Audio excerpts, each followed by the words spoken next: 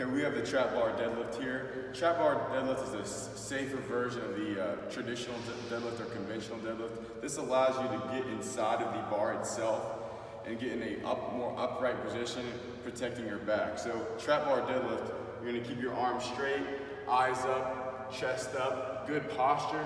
You're gonna squeeze up, pulling the knees out, squeezing at the glutes, and coming back all the way to the ground. Squeezing up, all the way back down. This is gonna really allow you to keep a good posture and work on the glutes as well as quadricep muscles while eliminating the stress on the back.